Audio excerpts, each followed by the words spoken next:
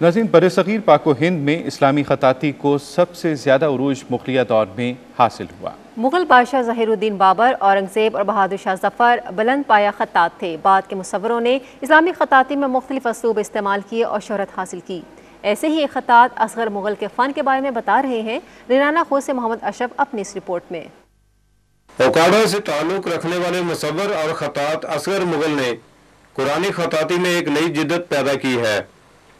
कुरानी खताती में उन्होंने रंगों की आमेजश से ब्रश का इस्तेमाल किए बगैर मुनफरद अंदाज में अस्सी हज़ार से जायद फन पारे तख्लीक करके बैन अवी सतह पर अपनी पहचान बनाई। मैं बग़ैर ब्रश के खताती करता हूँ और अल्हम्दुलिल्लाह अब तक अस्सी हज़ार फन पारे में अब तक बना चुका हूँ और बैल अवी सतह पर मैं काफ़ी गोल्ड मेडल और अवार्ड हासिल कर चुका हूँ।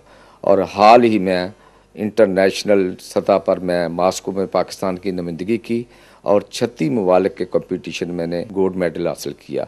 असगर मुगल न सिर्फ़ कई ममालिक में अपने फ़न को मुतारफ़ करवा चुके हैं बल्कि मुल्की व गैर मुल्की सतह पर कई अवार्ड भी हासिल कर चुके हैं। असगर मुगल ने ऐसी शहरत पाई है कि जो बैन अवी तौर पर पहचाने जा रहे हैं।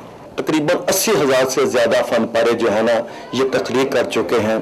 मैं समझता हूँ कि असगर मुगल हमारे उकाड़ा से और मुल्की सतह पर अब बैन अवी तौर पर पहचाने जा रहे हैं।